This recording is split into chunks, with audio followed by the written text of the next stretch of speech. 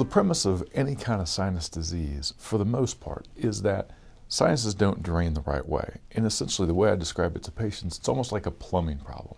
You've got a sinus that's full of liquid or infected material and it can't get out. So when you relieve that obstruction, a lot of times those sinuses drain better, people breathe better, and their pressure and pain and their need for antibiotics go by the wayside.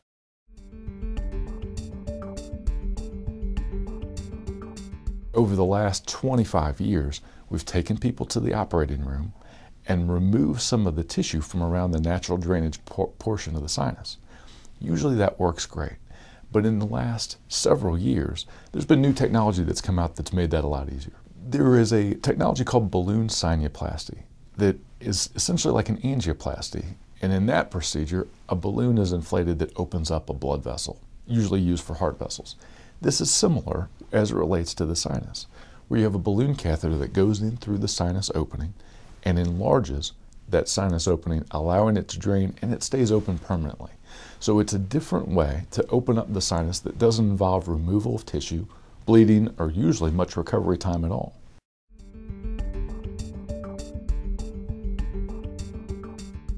So the patients that are best qualified for this are patients who typically have sinus infections recurrently, meaning they get infections three, four, five, six times a year.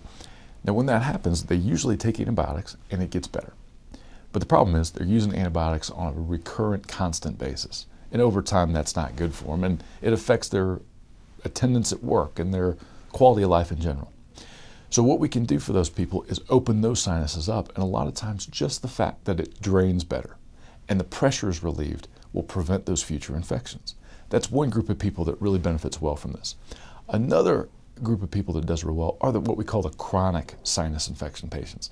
Now, these are ones that they've been on antibiotics for two or three weeks. A lot of times they've gotten steroids and rinses for their nose. They still don't get better. Now, in that case, you have to do something, and usually some kind of procedure to open those things up is warranted.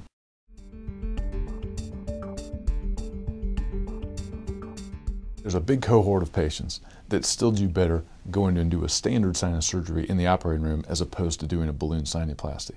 Those patients usually have bad deviated septums. Their nose on the inside is crooked to one side or another. Or they're patients with a lot of polyps or really advanced sinus disease with a bunch of swelling and several things going on. Because sometimes those patients do remove some, need some tissue removed, they do do better in the operating room.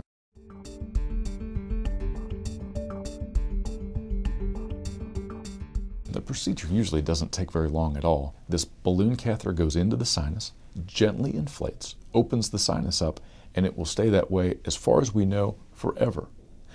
And because it doesn't rip tissue, it doesn't remove tissue, there's very little bleeding, very little crusting, and you feel better almost immediately.